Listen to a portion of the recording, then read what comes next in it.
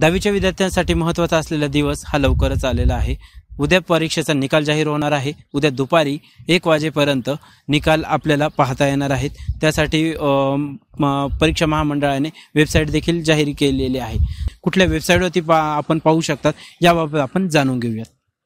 बारावीचा निकाल लागल्यानंतर राज्यातील दहावीचा निकाल कधी जाहीर होणार याकडे विद्यार्थ्यांसह पालकाचे देखील लक्ष लागून होते. दरम्यान विद्यार्थ्यांची प्रतीक्षा संपली असून दहावीचा निकाल हा दोन जून रोजी दुपारी एक वाजता जाहीर होणार आहे.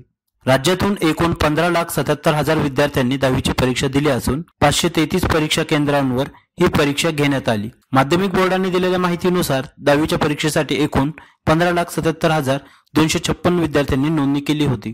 महाराष्ट्र राज्य माध्यमिक व उच्च माध्यमिक शिक्षण मंडळाच्या पुणे नागपूर औरंगाबाद मुंबई कोल्हापूर अमरावती नाशिक लातूर व कोकण या नऊ विभागीय मंडळांमार्फत मार्च एप्रिल दोन हजार तेवीसमध्ये या परीक्षा घेण्यात आल्या होत्या. दहावीच्या मार्च एप्रिल दोन हजार तेवीस परीक्षेत बसलेल्या सर्व विद्यार्थ्यांचे विषयनीय गुण अधिकृत वेबसाईटवरती उपलब्ध होणार आहेत. दहावीचा निकाल तुम्हाला कुठे पाहता येईल हे आपण जाणून घेऊयात.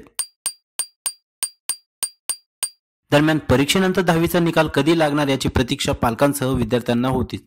आता ही प्रतीक्षा संपली असून उद्या म्हणजेच दोन जून रोजी शुक्रवारी सकाळी अकरा वाजता पत्रकार परिषदेत निकाल जाहीर केला जाईल आणि त्यानंतर दुपारी एक वाजता ऑनलाईन हा निकाल जाहीर होणार आहे. व्हिडिओ जर्नालिस्ट अक्षय वाघमारेसोबत मी प्रवीण सुरवसे. लेट्सअप मराठी.